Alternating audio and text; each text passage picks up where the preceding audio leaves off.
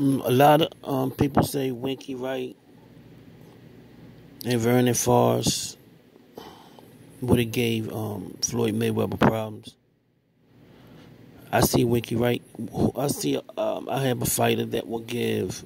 I believe would have gave Floyd Mayweather more problems than Winky Wright and um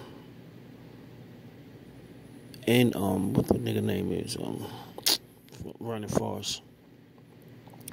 This guy is the Grandmaster, Joshua Clottey. He fought everybody Floyd fought and beat him and beat him in in better fashion. And he just had a style that would have gave either a young Pretty Boy Floyd uh, a run for his money. He was strong. He was like stronger than Cotto. Cotto, you see how Cotto fought? Mayweather bust him up with that jab, but Mayweather was beating him up. But Clottey got better defense than Cotto. He's stronger than Cotto. And he got a better jab than Cotto. And he got a he and he threw more combinations and better combinations than Cotto. He hit harder than Cotto. He would have gave Floyd Mayweather problems, serious problems. Manny Pacquiao, I believe he was paid to throw the Manny Pacquiao fight. He played with Manny Pacquiao. You got to pause that. He treated Manny Pacquiao like a kid. He just, I believe, and once he fought Manny Pacquiao, he disappeared from the sport for a couple of years because I believe Bob Arum paid him off. You could tell the way that wasn't the same Joshua Clottey that we used to seeing. That wasn't the same Joshua Clottey. He just stayed on the ropes and let it, it, was so many openings. You could see that he wouldn't he wouldn't pull the trigger on. Because I believe he was he was paid to paid to throw that fight. Just go in there and play defense. Do not mess with the money fight. Probably got a probably got a million off of that shit and just got low. His style would have gave. Now, now you see how he, he backed himself in the corner on purpose, just to, just to take a look, just to just to give Cotto a different look. Ate a few shots, but look, he just doing this to get a different look. Now watch how he explode. Sometimes he go to get rest, get looks. He he uh, he's looking, he's looking, he, he's looking for openings, and watch how he can jump right back in his regular style.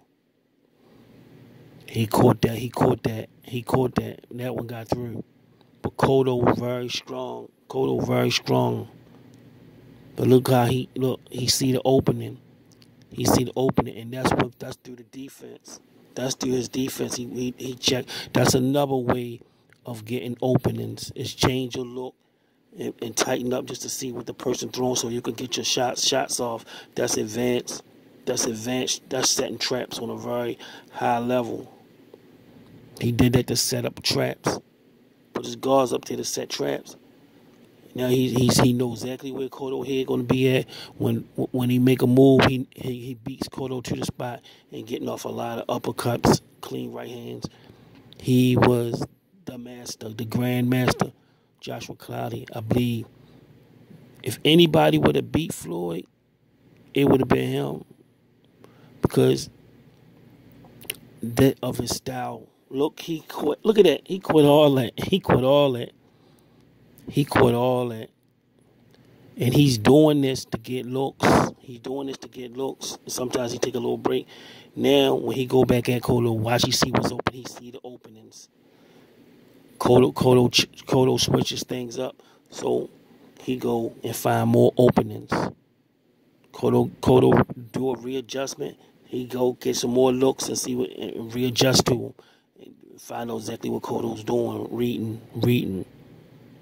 Where his where he gonna be at? How can I hit him and he not hit me? And watch he hit him and get out of there. He set up his shots and get out of there.